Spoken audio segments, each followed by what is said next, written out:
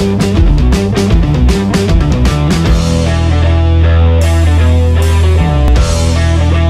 guys, welcome to another Bitter Butter Render Blender tutorial. HDR is a really good method to get natural lighting. This is where you get a 360 image with a high dynamic range and apply it to a world lighting. Blender then will take information from that image and light your scene. This helps to make your renders look more realistic as the lighting is based off real life settings. Now, sometimes you might want a specific setting as your lighting. This especially applies to when you're doing VFX where you add CG elements to real life footage. When it's indoors, you could get away with using manual lighting, such as adding lights from Blender's menu, but it's not going to be realistic. And if you have shiny meshes, such as this scene here, you won't get the reflections, which throws off the whole scene. The only issue is that you can't use HDRIs from websites such as Polyhaven and others since they don't have a HDRI of your own room or of a specific place you want. So, how do you get custom HDRIs? People usually take HDRIs with a 360 camera, but not everyone has that camera. There's another alternate where you take a DSLR camera and take a picture all around your setting a few times each with a different exposure and then stitch it together using software such as Photoshop. But that's a very time consuming task. So here's a trick to get custom HDRIs with just your phone. There are two apps you can use. If you're on an iPhone which is running iOS, you can use this app called HDReye and don't get mixed up because this is called HDREYE as in your eyeball.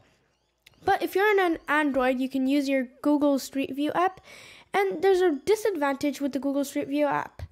So with HDReye, so the iOS app, the app already takes a 360 image with different exposures and stitches it together already, giving you a high dynamic range 360 image. And then it exports them in an EXR format. However, Street View doesn't do that and it takes a JPG 360 image, resulting in an image with low dynamic range. However, with only three nodes, you can increase the dynamic range of that image. Both these apps require you to aim your phone at a dot in your room and rotate around taking pictures all around you. Okay, once that's done, you can hop into Blender and open up a project. Uh, right now, you probably won't be not able to see the sphere over here, but I do have a sphere with a metallic texture to it so you can see the reflections. Now, I've taken two HDRIs one with the Google Street View app and the other with the iOS HDReye app. I'll tell you how to open the apps and apply it to your world settings. So first over here in the shading tab, go over here into the world section and add a environment node. And with the environment texture node, you can plug in the color into color like always and open up the HDRI that you just took. Right now, with the HDReye app, the iOS app, you don't have to do anything. Just like a normal HDRI, you would just open up the image just like I've done here. And since this is a EXR, it already has the dynamic range and you're gonna get the shadows and all that. But if you have the Google Street View app, here are the three nodes you need to add. First, let me open up my JPG file in the same environment texture, just like I have here with the JPG from the Google Street View app that I took. And now with these apps, there are there is an issue which I forgot to mention earlier, and that is a few stitching issues. As you can see with my table over here, you're gonna get some duplications and all that, but that's fine as you only only need to get the basic lighting. And now look, you're getting the reflections with the Google Street View app, but the only thing is that the shadows won't be strong enough, mainly because the dynamic range is very short. So let me just add a plane so you can see better with the shadows and all that.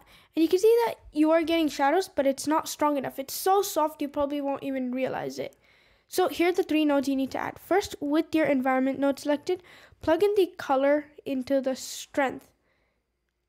And yes, that did do something, but here's the thing. First, we're gonna add a math node. So over here, Shift A, math node.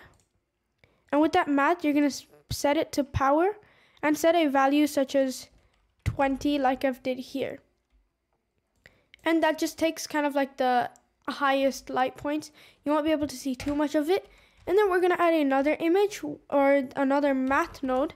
And that is going to be add like it already is, and you're going to set the value somewhere around 0.01. And that kind of does the same thing as before, just adds more. And then we're going to open up another math node, the final math node. Set it to multiply and change the value to something around like 100. That's it for today's tutorial. I hope this helped and I'll see you in the next one.